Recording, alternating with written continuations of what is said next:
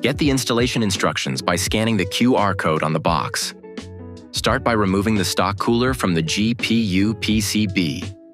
Remove the six screws from the backplate and lift it off the GPU. Remove the I.O. bracket by unscrewing the two screws.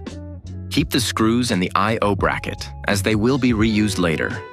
Next, we move on to removing the PCB. There are 11 screws in total. Start with the retention bracket in the center. Make sure to hold the bracket down while removing the four screws, as it is under tension. Keep the four screws and the retention bracket, as they will be reused later. Remove the remaining seven screws from the PCB Gently wiggle the PCB to loosen the thermal pads and thermal paste. Slowly lift it to the right to access the cable connectors. Disconnect all five connectors.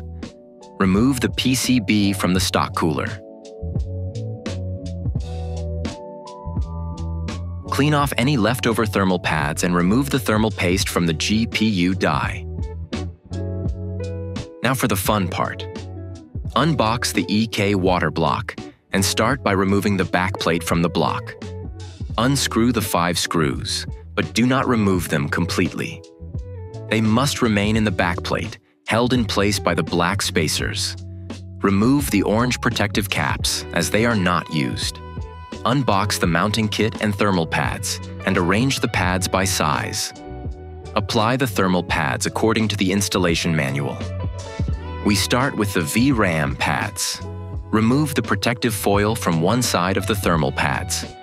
Next, apply pads to the six smaller chips and the VRM section. When placing thermal pads on the VRM MOSFETs, make sure to keep the pads slightly away from the edge. They should not extend past the metal as this would be visible through the plexi. The pads for the inductors need to be cut to length.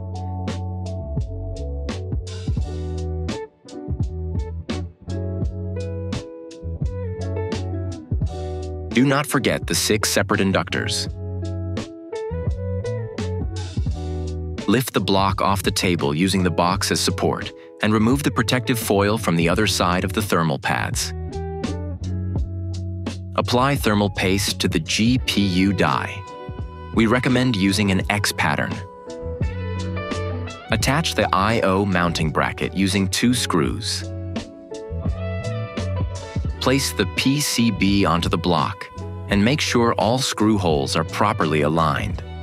Install the I.O. bracket using the two screws that were removed earlier. Install the retention bracket using the four screws in a cross pattern. Make sure to hold the bracket down while tightening.